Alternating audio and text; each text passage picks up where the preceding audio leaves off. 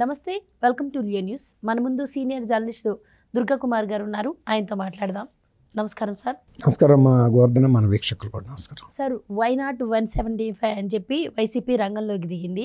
అది ముందు ముందు ఎలక్షన్ టైం వచ్చేసరికి వై నాట్ కుప్పం అన్న పరిస్థితి కూడా మనం చూసాం.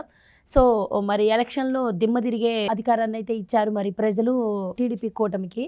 సో ఇప్పుడు మరి టీడీపీ కూటమి అంటుంది వై నాట్ కుప్పం అని చెప్పి ఇప్పుడు వై కుప్పంలో వైసీపీ మొత్తం ఖాళీ అవ్వబోతుంది అని చెప్పి వార్తలు అయితే వస్తూ ఉన్నాయి. సో ఇప్పటికే వైసీపీ కార్యాలయాన్ని కూడా అక్కడ హోటల్గా మార్చేశారు.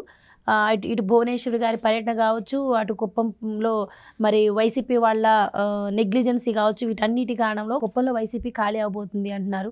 మీరేం చెప్తారు సార్? అసలు రాష్ట్ర వ్యాప్తంగా పరిస్థితి ఎలా ఉందంటారు? ఇప్పుడు చెరపకర చెడిది అంటారు చూసారా? ఎప్పుడైనా ఎవరైనా వాళ్ళ పరిమితుల్లో వాళ్ళు ఉంటే పర్వాలేదమ్మా. ఇక నేను తప్ప ఈ దేశంలో ఎవరు పరిపాలించడానికి రా- లేరు ఉండరు అనే దృక్పథం అనేది ఏదైతే ఉందో అది అసలు ఉనిక్కే ప్రమాదం తీసుకొస్తుంది.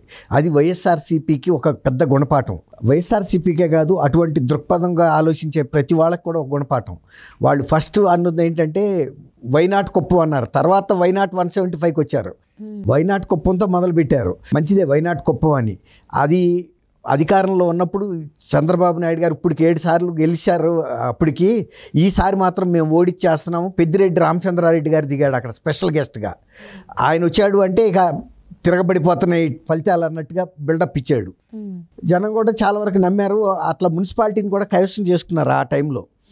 ఇప్పుడు అదే మున్సిపాలిటీ మొత్తం తిరగబడింది. మారిపోయారు మొత్తం. ఇటువైపు వచ్చేసారు. మొన్న కంటెస్ట్ చేసిన కేజే భరత్ అసలు ఇవాళ ఫోన్ కూడా ఎత్తట్లేదనేది వైఎస్ఆర్సీపీ కార్యకర్తలే చెబుతున్నారు.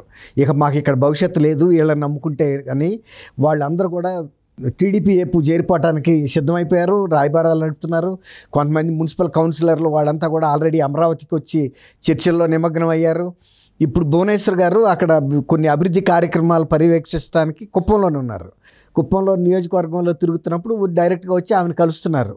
కలిసి అమ్మ మేము మీ పార్టీలో జారుతాము ఇక మా గతంలో చేసిన తప్పులు వదిలేసేయండి అని వాళ్ళు రాయబారం చేస్తున్నారు. కొంతమంది చేరిపోయారు కూడా జారుతా ఉన్నారు. ఇప్పుడు కుప్పంలో అసలు వైఎస్ఆర్సీపీ పార్టీ కార్యాలయం కూడా లేదు ఇక. ఆ ఖాళీ అయిపోయిన తర్వాత దాన్ని ఇక ఎవరు ఖాళీగా ఉంచుకోరు కదా. అయ్యో ఓట్లకి ఇచ్చేసారని చెప్తున్నారు ఇచ్చేస్తారు కూడా. ఎందుకంటే అక్కడ పార్టీ క్యాడర్ అయితే ఉండదు. అక్కడే కాదు ఎక్కడ కూడా మొత్తం ఇదే జరుగుతున్నాయి. వైజాగ్లో కౌన్సిలర్లు అందరూ కూడా మారిపోతున్నారు. పార్టీ అధికారంలో ఉన్నప్పుడు ఉన్న పరిస్థితి వేరు. ఇప్పుడు అధికారంలో దిగిపోయినా కూడా కనీసం నిలబడుతుందన్న ధైర్యం ఉంటే కొంతమంది ఎదురు చూస్తారు పార్టీకి. ఇప్పుడు గతంలో టూ థౌజండ్ నైన్టీన్లో టీడీపీ ఓడిపోయినా క్యాడర్ ఎక్కడికి పోలేదు కదా. మొత్తం ఎన్ని కేసులు పెట్టినా ఎన్ని దౌర్జన్యాలు చేసినా దాష్టికాలు చేసినా అన్నిటినీ ఫేస్ చేశారు. ఎందుకు? అధినాయకుడు ఉన్నాడు ఇక్కడే ఉన్నాడు ఆయన. ఆయన ఏమి వెళ్ళిపోయి ఇతర రాష్ట్రాల్లో ప్యాలెస్లు లేవు ఆయనకి అక్కడికి వెళ్ళి తలదాచుకునే పరిస్థితి లేదు.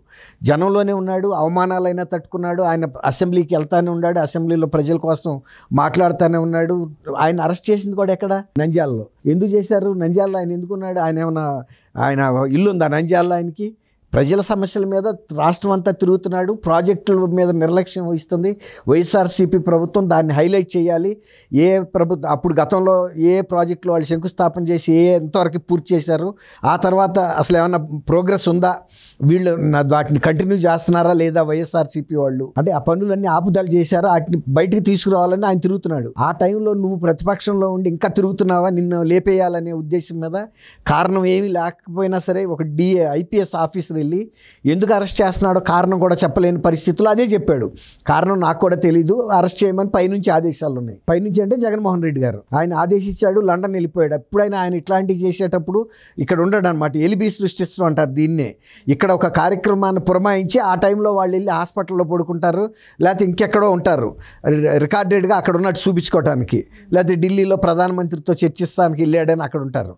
అప్పుడు ఇక్కడ అనుకున్న కార్యక్రమం అవుతుంది. అట్లాగే ఆయన అరెస్ట్ చేసిన తర్వాత విలేకరులు అడిగారు ఢిల్లీ లండన్ నుంచి వచ్చిన తర్వాత జగన్మోహన్ రెడ్డి గారిని. అడిగితే అట్లాగా తెలియదు నాకు ఎత్తేసారా? అని అడుగుతున్నాడు ఆయన వీళ్ళని. అంటే చంద్రబాబు నాయుడు గారిని అరెస్ట్ చేసిన విషయం అంటే ఎత్తేసారా? నాకు తెలియదు బహుశా కేంద్రం ఎత్తేసిందేమో అన్నట్టుగా చెప్పాడు ఆయన.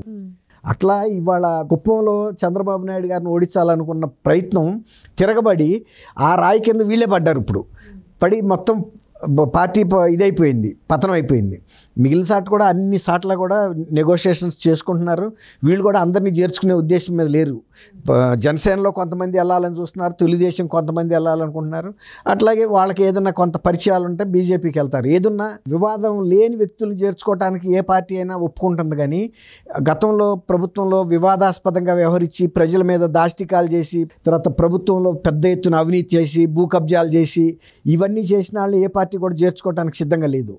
అందువలన కొంతమందికి తప్పని పరిస్థితుల్లో వైసీపీలో కొనసాగుతున్నారు కానీ ఏ మాత్రం అవకాశం ఉన్నా కూడా వెళ్ళిపోయే ఛాన్సెస్ ఎక్కువ కనపడుతున్నాయి. ఇందాక మీరు చెప్పినట్టు భూ కబ్జాలు ఒకటి చాలా ప్రమాదంగా తయారైనాయి వైఎస్ఆర్సీపీ నాయకులకి.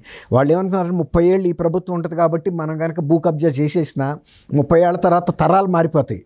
రికార్డులు కూడా స్థిరపడిపోతాయి. ఇంకా ఎవడ పట్టించుకుంటాడు అనుకున్నారు? ఇప్పటికే గుంటూరులో కావచ్చు విశాఖలో కూడా కార్పొరేటర్లు అందరూ టీడీపీలో చేరే ప్రయత్నం చేస్తున్నారు. ఆల్మోస్ట్ కొంత చేరారు కూడా. ఇప్పుడు కూడా దాదాపు కుప్పం నుంచి కూడా పదిహేను మంది దాకా ఎమ్మెల్సీ శ్రీకాంత్ ఎవరైతే ఉన్నారో ఆయన నుంచి ప్రజాప్రతినిధులు అందరూ వెళ్ళి ఉండవల్లిలోనే డైరెక్ట్గా చంద్రబాబు ముందే పచ్చకండువ కప్పుకుంటామని చెప్పడం అయితే జరిగింది. ముఖ్యంగా వాళ్ళు చెప్తుంది ఏంటంటే ఈ నెలన్నర కాలంలో ఏదైతే అభివృద్ధి జరిగిందో ఆ అభివృద్ధిని చూసే మేము టీడీపీలో చేరతామంటున్నారు.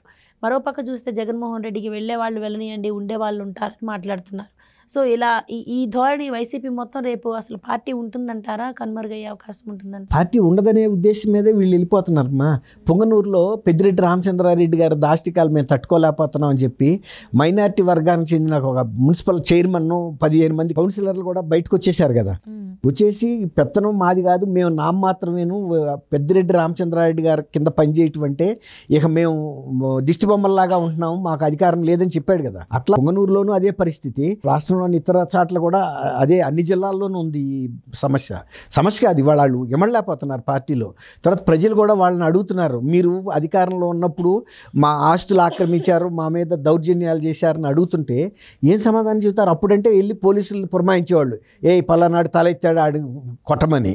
ఇవాళ పోలీసులు ఏమో వాళ్ళ ఆదేశాలు వినే పరిస్థితిలో లేరు. ప్రజలు కూడా వాళ్ళని క్షమించే దశలో వాళ్ళు లేరు. కాబట్టి ఏదో ఒకటి అధికార తీర్థం పుచ్చుకుని ఆ కండవాలు వేసుకుని మనం ఏ ఎండకు ఆ గొడుగు పట్టుకోవాలనే ఉద్దేశం మీద ఉన్నారు వాళ్ళు వైఎస్ఆర్సీపీ వాళ్ళు. రెండోది జగన్మోహన్ రెడ్డి గారు ఇక్కడ ఉండటం లేదు. ఆయన ఎక్కువ బెంగళూరు ప్యాలెస్కి వెళ్ళిపోతున్నాడు. వీటి మీద ఇప్పుడు ఇందాక మీరు అన్నట్టు సొంత తల్లి చెల్లినే కేర్ చేయని వ్యక్తి పార్టీలో ఉంటే అంత లేకపోతే అంత నాకని ఈ కార్యకర్తలను ఆయన ఎందుకు లెక్క చేస్తాడు? ఆయన ఉద్దేశం ఏంటంటే మళ్ళీ టూ థౌజండ్ నైన్టీన్ లాగా ప్రజల్ని నేను ఏదో ఒక మబ్బి పెట్టి నా స్వశక్తి మీద నేను రావాలి తప్ప ఈ కార్యకర్తల బలం మీద వస్తానని ఆయనకేం నమ్మకం లేదు. మళ్ళీ ఇక అమలు చేసినా చేయపోయినా నేను ఇంకా పెద్ద పెద్ద హామీలు ఇస్తాను. ఆ టైంకి ఎవడన్నా ఇట్లా కార్యకర్తలు చనిపోతేనో నాయకులు చనిపోతేనో అది చంద్రబాబు నాయుడు గారి అకౌంట్లో వేస్తాను. ఫలానా తెలుగుదేశం చేసిందని. అట్లా నిందా రాజకీయాలు మోపైనా గెలవటానికి అది స్కోప్ ఉంది కానీ ఈ ఐదు సంవత్సరాలు వీడు చెప్పిందల్లా వినాలి వీడితో అయ్యేది ఏంటి పోయేది ఏంటి? కిందసారి వీళ్ళు ఎవడో లేకుండా గెలిచాడు కదా. ఆ రోజు యాభై మంది సలహాదారులు ఆయనకి లేరు. ఇప్పుడు యాభై మంది సలహాదారులు ఉన్న టూ థౌజండ్ ట్వంటీ ఫోర్లో ఎందుకు ఓడిపోయాడు? ఇంకా తర్వాత ఇంకా చాలా వెల్ఫేర్ స్కీమ్స్ కూడా చేశానని చెప్పాడు కదా. అది కాదు. ఎప్పుడైనా సరే ప్రజల్ని మభ్యపెట్టి కొడితే ఏను కుంభస్థలాన్ని కొట్టాలంటారు చూసారా ఆ విధంగా ప్రజల్ని నేను ఏ అసత్యాలైనా చెప్పి అసంబద్ధమైన హామీలైనా ఇచ్చి అట్ట గెలవాలి తప్ప ఈ కార్యకర్తలతో గెలుస్తానన్న ధైర్యం అయితే ఆయనకి లేదు. అసలు ఆయన నమ్మే సిద్ధాంతం కూడా కాదు అది. Thank you so thank you అమ్మ గోవర్ధన్.